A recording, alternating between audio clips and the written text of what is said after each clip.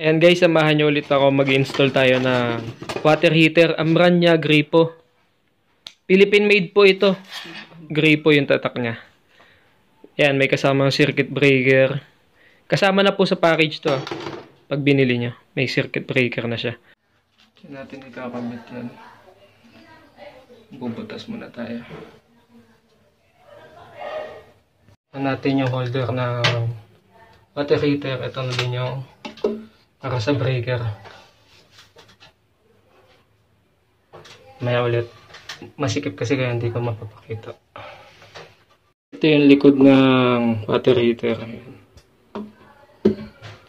I, ano lang just sabit lang yan dyan sa holder niya. Punta natin to. Ito yung grounding niya. Etong blue, i-connect natin yan dito sa kulay yellow tsaka green. Yung ground. Tapos itong dalawa sa supply. Naikabit na natin. Yung galing sa water heater, ito, itong puti. Yung brown, nandito sa line. Tapos yung blue, nasa neutral. Tapos yung grounding natin, ito yung yellow green. Tinaas ko dito yan.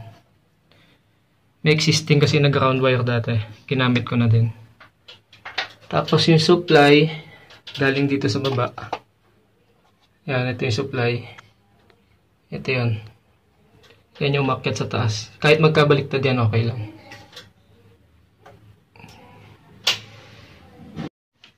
Yan, ito yung outlet. Dito na yung mainit. Yung pula yung mainit.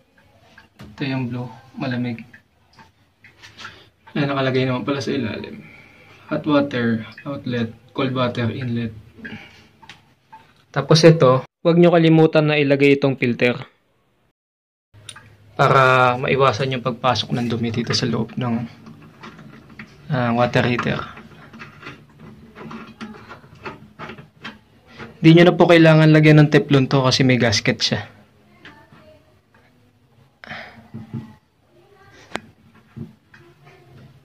Yan. Okay.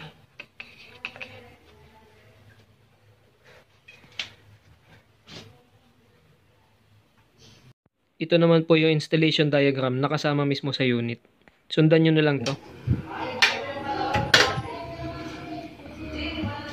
Yan, nag-on na siya. Pas yung tubig. On. Okay na to saksakan. Hmm, okay na. Level 3. Testingan natin.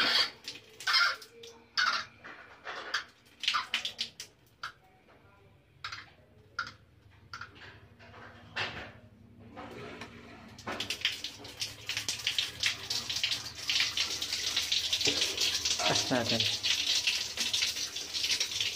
Ayan, hanggang level 6 siya. Tapos, yung pinakamababa niya, level 1. So, set natin ang pinakamataas, level 6.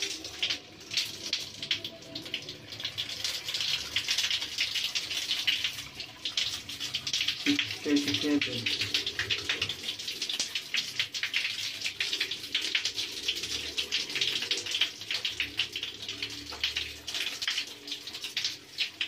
Ano? Digital pala to, no? Ayan. Ay, mainit. Okay.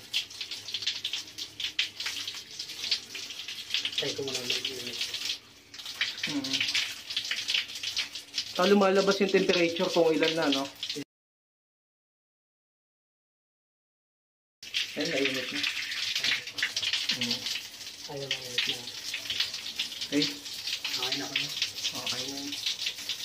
Ayan guys, naikabit na natin. Gumagana na din siya. Kaya okay na okay. Please like, share, and subscribe guys. Thank you.